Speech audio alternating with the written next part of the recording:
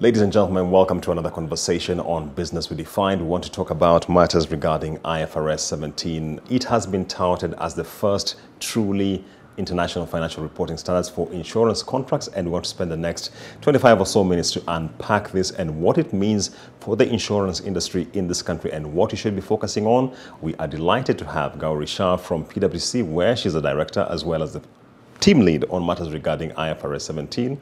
Welcome on set. Thank you. Delighted to have you this morning. So Gauri, let's start from here. Um, the comment that this is truly the first international financial reporting standard for insurance contracts. Do you agree with that? And if you do agree, what does that mean?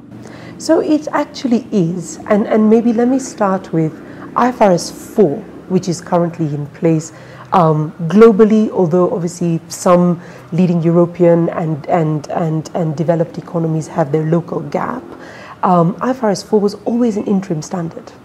Um, there was always supposed to be another standard that came that allowed for greater comparability, one way of measurement, and, and all of that. But that standard has taken a couple of decades, you know, two to three decades to actually develop, actually finesse, um, and now it's finally here. Um, so 1 January 2023 was the implementation date. It is here with us.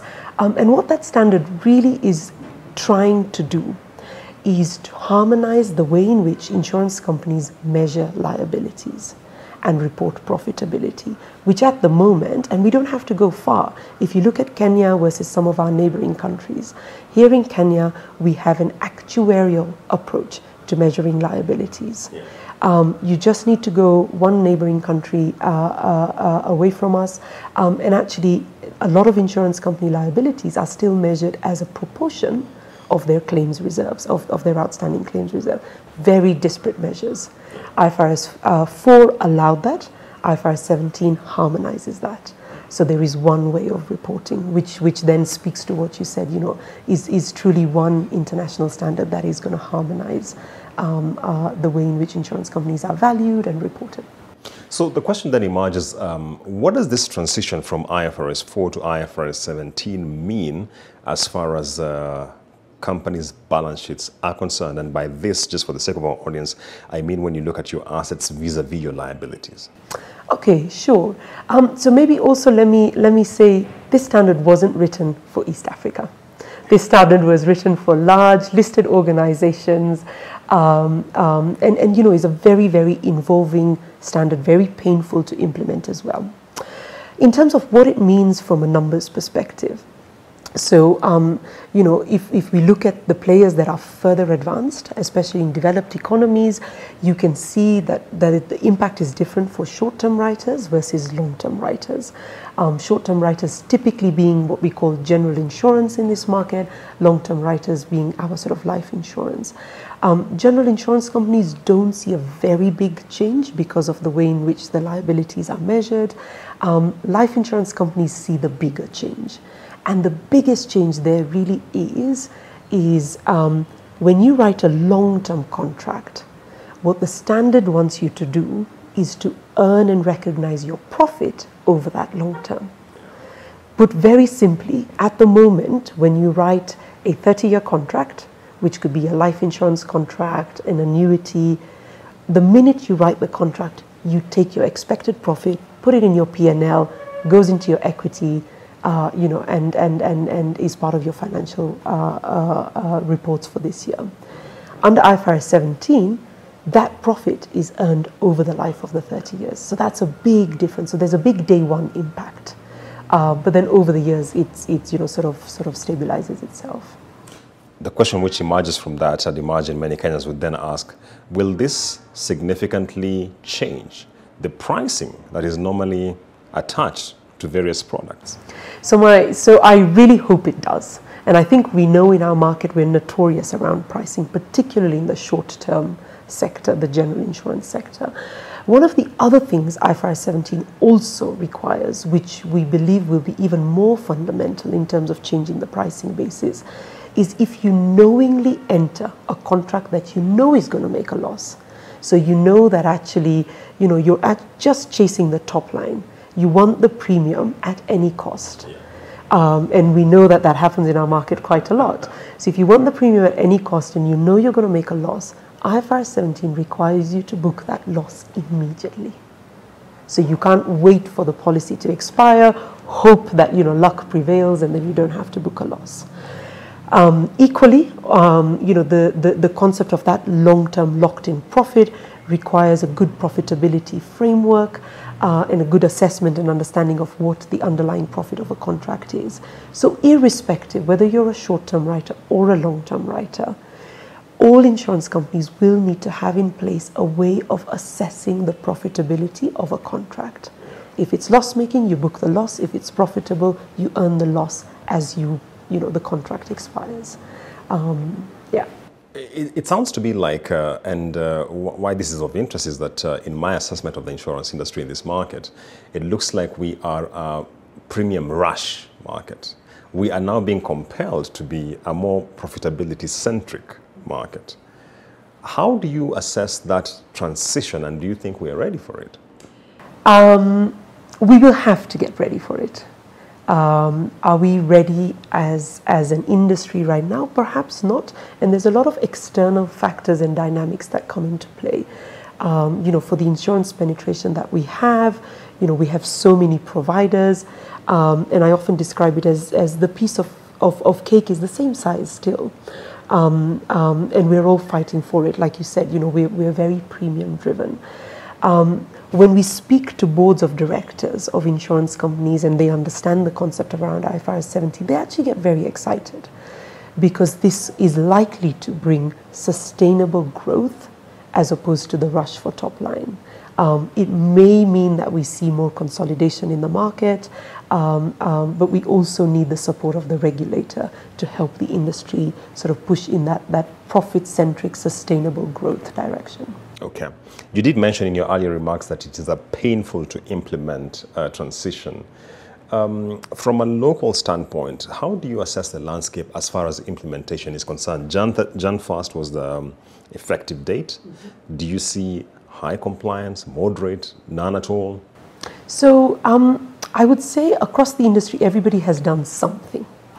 I would say um, probably the top, uh, you know, sort of top quartile, not in terms of size or anything, but you know, there's there's the top quartile insurance companies that have progressed and actually have transition numbers will be some of the listed companies and then some of the international players that that have um, you know entities here. Um, in terms of preparedness, we still have a long way to go as we bring the entirety of the insurance industry, um, um, um, you know, at par with, with meeting the IFRS 17 requirements. The biggest challenge that we face as an industry is one of capacity and capability. Um, resources are technical resources that are able to do this with a pragmatic approach. You know, like I said earlier on, this standard wasn't written for East Africa, wasn't written for Kenya. It was really written for the large companies. So we do need to have a pragmatic approach to meeting the requirements because, you know, we apply IFRS here. We don't have a choice but to, to implement IFRS 17. Um, so the race for resources is real. The market is extremely buoyant. You see people moving around a lot at the moment. Um, uh, but then the other thing is that, that, that, that companies must create the internal capacity, discipline, and create budgets for this. Otherwise, we will not be able to implement this successfully. Um, where I see us at the end of the year, we will get there. I mean, we are Kenyans, we will get there. Um, you know, if I compare this to IFRS 9, which came about, you know, four years ago, IFRS 17 is probably 10 times harder, even harder than that. Um, and we will probably have a patchwork solution uh, uh, that means that, you know, people will have IFRS 17 financial statements, but we will carry on implementing for a couple of years after that, you know, what we call the post-implementation work to actually truly bet the standard, to truly appreciate it, the systems go live, etc. Kenya has a very fragmented insurance market with many, um, if I could call them mid-tier to small-tier retail uh, players. And the question that I've had around IFRS 17 is that, is there some form of hand-holding we can get around how to navigate this transition? Um, it would be really good if, if, if there was industry bodies um, and, and the regulators supporting and hand-holding that. Um, but short of that, there is over reliance on consultants at the moment. Consultants both that operate locally, but also, you know, um, um, we have consultants, tool providers, vendor providers, uh, vendor solution providers um, from other markets, from South Africa, from Europe, that are all sort of operating and targeting this market. Um, but there is limited that is coming from an industry perspective. Okay. There has been concern raised with me that um, this transition will render the balance sheets of insurance firms extremely vulnerable to volatility in market conditions. If you could comment on that and what that means uh, for the firms. Yeah, absolutely. And again, long term writers more so than the shorter term writers. Um, if you think about the, the, the emergence of profit over a long period, um, and, and, and the crux of it, and you, to use some technical terminology here, um, the way in which that profit is, is, is, is truly measured is you expect a certain level of profit, and then there's the actual profit. The further that departure, the greater the variability in your balance sheet. Now, you know, in as much as we employ people that, that, that you know, can project, including myself who's an actuary, that you know, we, we, we try and project the, the, the future financial outcomes, you're never going to get it right. Um, uh, but there will be a lot of discipline required to try and project those cash flows as accurately as possible to minimize that variability. Short term writers, the general insurance companies will see slightly less variability because our products are shorter. Uh, but trying to project 30 years versus projecting two to three years is a big difference. And yes, and that's a concern even globally the significant variability uh, in, in, in, in not just the balance sheets, but actually even just the income statements as well. Okay. Um, you prodded me to my next question. If I'm an analyst looking at especially listed insurance firms, what sort of differences do I anticipate in the income statements when I look at IFRS 4 versus IFRS 17? Um, very big differences. So, so um, the income statement looks totally different to what we currently have. And probably two or three of the, the key things. We're so used to gross written premiums. Uh, and, and, and you know that has always been the yardstick with which insurance companies are measured. There is now a new concept in IFRS 17 called insurance revenue. Insurance revenue only exists to the extent you write profitable contracts. Um, and it's, it's, it's actually an actuarially determined number as opposed to just a top line. You know, I wrote premiums of 100, so I book 100. So that's one big difference. But again, that brings some of the things we spoke about the much needed discipline around sort of profitable, sustainable growth. Um, so that's one big difference. The other one is profitability itself. Um, again, long-term insurers will see a day one impact of, of, of you know profits being lower than what they reported in IFRS 4, but obviously they stabilize year on year um, uh, because, be, because, of, because you continue then reporting on IFRS 17. That in of itself obviously has an impact on the equity uh, and how that is represented. Um, and, and, you know, I guess what is really critical, not just as an analyst, but as a user of the financial statement, is to understand what is driving those numbers. Um, under IFRS 17, you'll see enhanced disclosures. So whilst the income statement is condensed, each item in there now has more substantial disclosures. So what is the makeup of the insurance revenue? What is the makeup of the claims? Uh, you know, within claims, you have to have an explicit risk adjustment. What does that risk adjustment represent? Where is the profit coming from? How is that amortized over the life of the policy? Um, so being able to, to, to, to understand that and being able to then compare with probably a greater degree of confidence across insurance companies will help analysts uh, and other, other, other users of financial statements.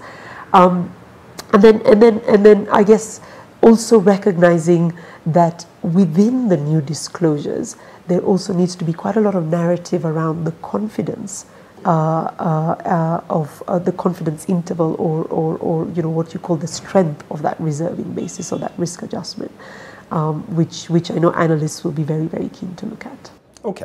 So in light, with, in light of that, um, in 2023, then do we anticipate two sets of numbers?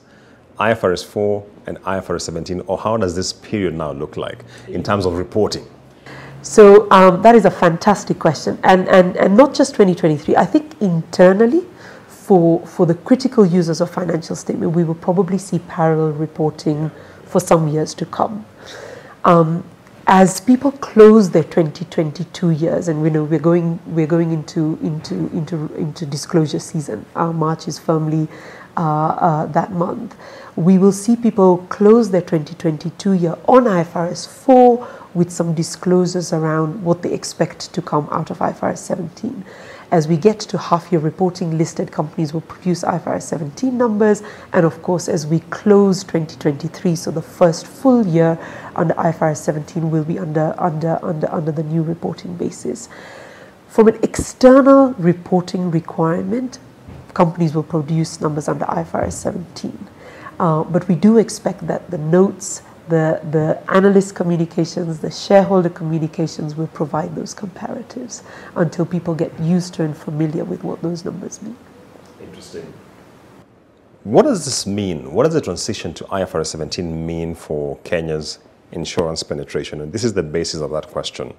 One, it has been raised that um, we're coming off the back of COVID, and COVID really wrecked industries, including insurance insurance penetration is generally low in this country. Now, you're talking about a reporting standard which is quite challenging for many as far as implementation is concerned.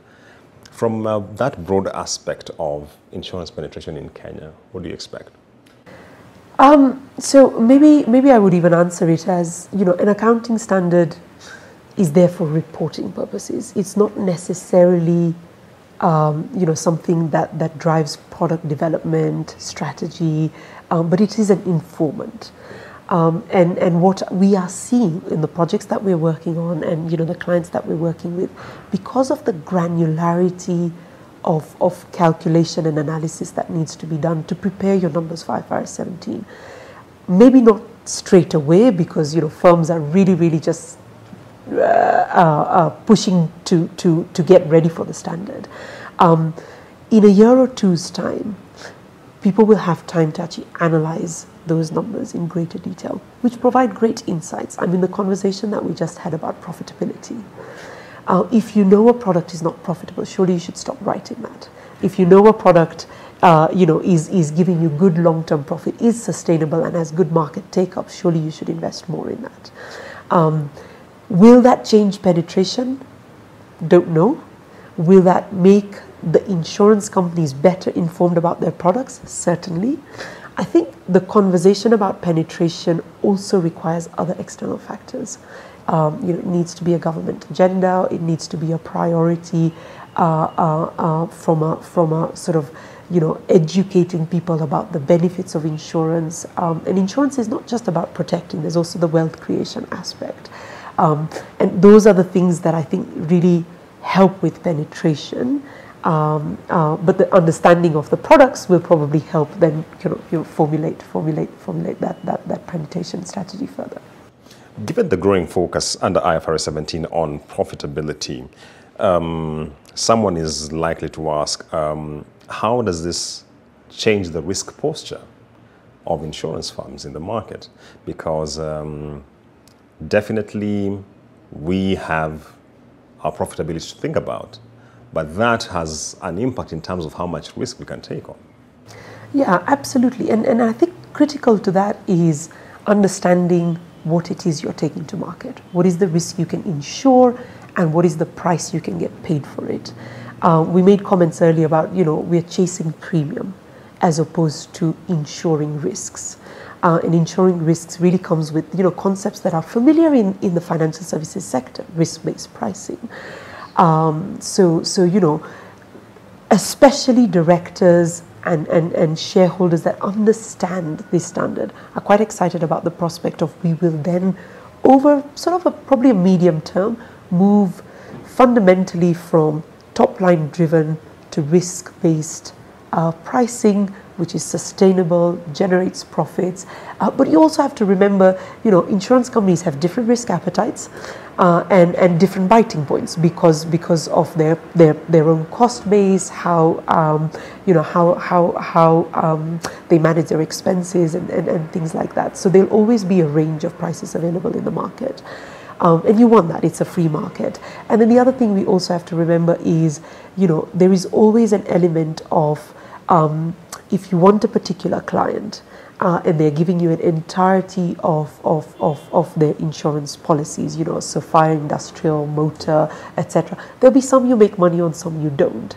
And as an insurance company, uh, you know, every insurance company will decide whether or not that is an acceptable risk to them, so long as the entirety of the portfolio makes business sense. So, you know, we're not saying that everything will move to you must write profitable, otherwise we can't write that business. But I think there's a little bit of, of, of a give and take there based on appetite and, and, and, and appreciation of a client base. Uh, but we will definitely see a transition. You can't be, you know, you can't be reporting losses on day one. Then that's that's not a sustainable insurance company. Okay, uh, getting to the tail end of our conversation. So let's talk a, a little bit about the industry. You spoke about the issue of consolidation. And uh, we have been having a long running conversation in this country that uh, do we have too many players in the insurance industry? I'd be very curious to get your thoughts about that. So on the face of it, yes, we do have too many players. You know, if you think about the sort of insurance penetration we've played with over the, over the last decade, you know, anywhere between three and five percent, depending on on the market and how the overall GDP has done. Um, and and you know, we have 40 plus players in the market. Um, if you take the same examples and use, um, you know, developed, developed economies, and we don't have to go to the very developed economies, but if you go to Asia, if you go down south, um, uh, excluding the sort of Europe and West, we have much higher insurance penetration for fewer insurance companies. Um, and and you know that's not to say we need to force consolidation. I mean that's an approach the regulator may choose to use, um, but but but we certainly need a slicker insurance uh, industry.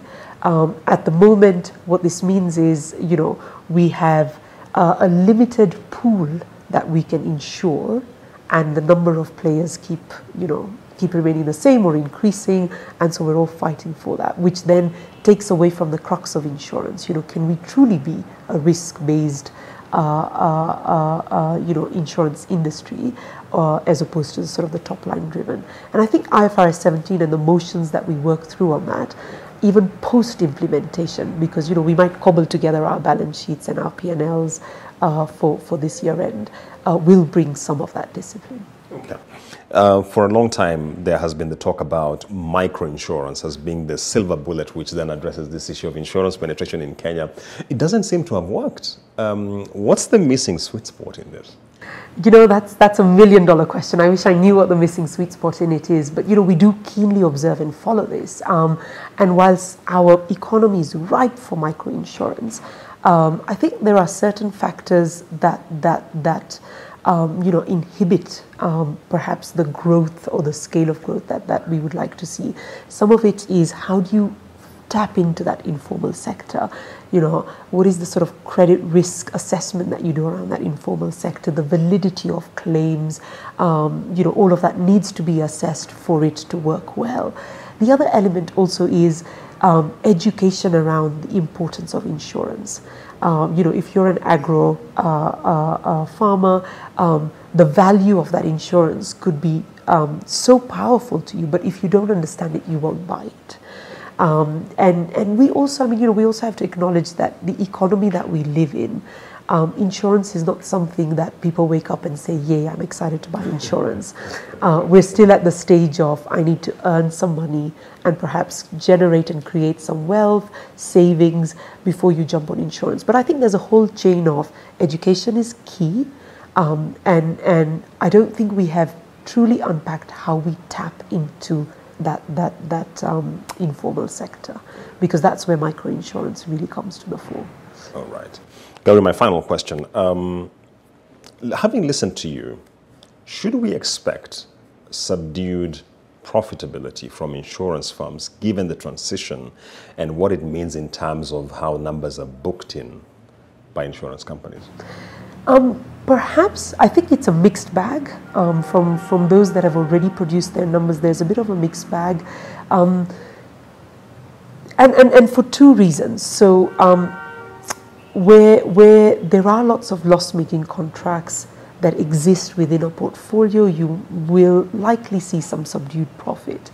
Um, for a lot of long-term writers, um, you know, to the extent that they're reserving, um, or rather the, the, you know, the provisions that they hold for those liabilities have been stable, but also on a slightly prudent or conservative side, uh, you will see that, that whilst there is that day one impact, they will still be able to, to, to manage their profitability within what they expected within their, their, their, their pricing frameworks.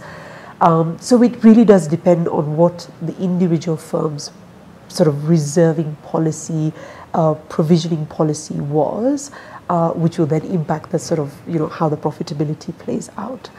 Um, uh, so, so yeah, we, we expect to see a mixed bag really here in, in, in, in terms of profitability. Gauri Shah, thank you so much for your time. Pleasure. And that has been Gauri Shah giving us insights into matters regarding IFRS 17 and insurance contracts. Remember, this is something which is significantly changing the landscape. We shall continue covering it to bring you the latest insights on what it means for you. Stay tuned.